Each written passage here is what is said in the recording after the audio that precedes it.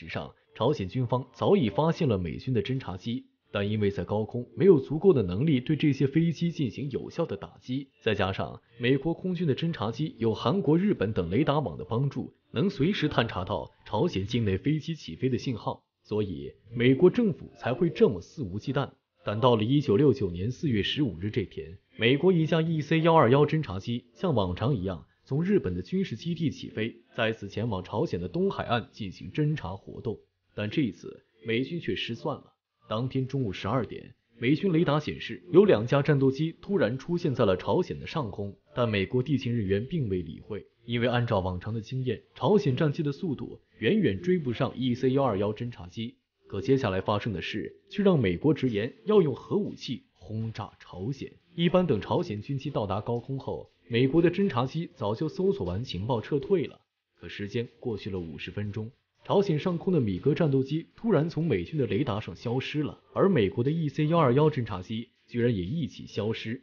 这很快引起了美国空军的注意，随即地勤人员紧急呼叫侦察机上的美军，可十几分钟过去了，美军侦察机那边一点音信都没有。到了一九六九年四月十五日下午。朝鲜方面突然发布消息，宣称击落了美国一架侦察机，而得到消息的美国军队立即派军舰去了相关海域搜索，可结果却只发现了失事的飞机碎片和几具尸体残骸。但要知道，朝鲜境内的米格十五、米格十七等战机根本追不上美国的 EC 幺二幺侦察机，那么朝鲜究竟是如何击落这架全球最先进的侦察机的呢？原来。四月十五日是朝鲜领导人的生日，朝鲜空军刚好遇到了再次来犯的美军战机，并且朝鲜还刚刚从苏联那边秘密得到了几架米格二一，这是苏联研制的一款超音速战斗机，当时可谓是最先进的。而米格二一的主要任务就是在高空对敌人的战斗机进行高速度的拦截。美国的 EC 幺二幺侦察机的最大飞行速度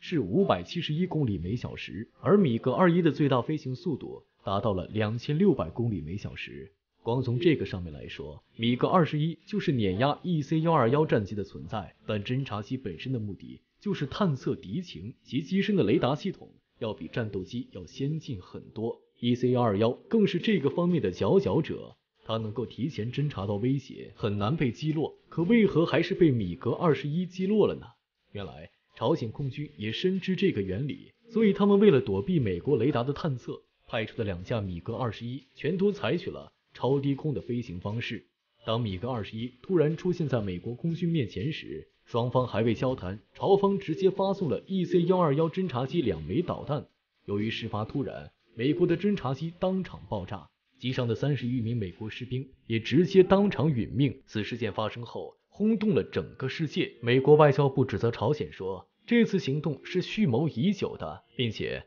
朝方不对美国侦察机进行警告，就给予击落的行为是极为不合规矩的，随即愤怒的要制裁朝鲜。可朝鲜这边非但没有畏惧，反而发起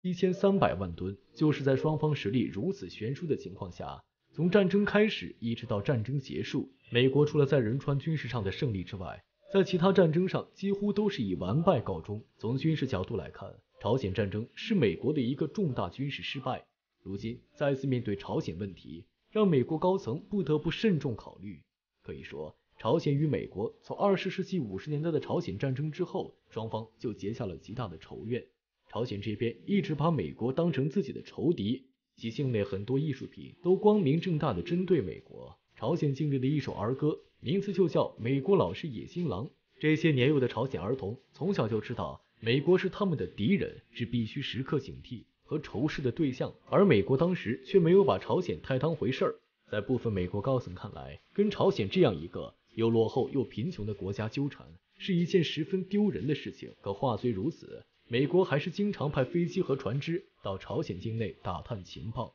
据资料显示，即使在朝鲜击落美国预警机之前，美国在这方面就吃了大亏。一九六八年，当时美国一艘货船在未经许可的情况下擅自闯入朝鲜领海，结果直接被朝鲜海军扣了下来。这艘船名叫普尾部落号，它表面上是一艘货船，可实际上却是一个进行过改装的侦察船，其内部有很多仪器和设备。除了记录朝鲜境内的情况外，还有美军自身的很多机密。平时这艘船就如同幽灵一般，时常在朝鲜领海附近游荡。他们之所以敢这么明目张胆，是因为一直没有把朝鲜的海军当回事儿。而当朝鲜海军突然向他们冲过来时，他们才绝望地发现自己已经没有逃脱的机会了。眼看逃不了了，普尾部落号的负责人为了避免泄露机密信息，急忙命令手下的士兵销毁船上的侦察仪器，同时。处理船上的机密信息，可最终还是慢了一步。朝鲜这边把美国船上的监听设备，还有众多机密资料全部带走，还把这艘普尾部落号和船上的相关人员全部抓了起来。美国高层得知此事后，气得当场把海军将领骂了一顿，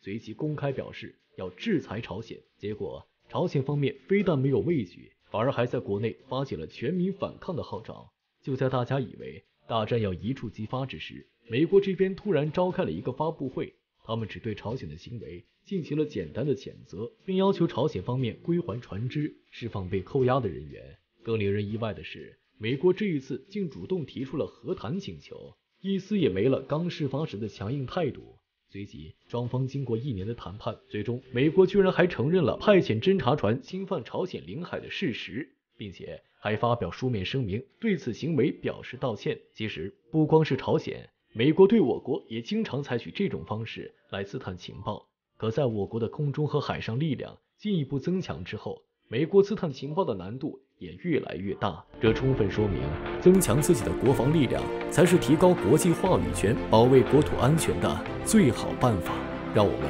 一起点赞，为新中国加油！本期视频到此结束，感谢大家的观看，我们下期不见不散。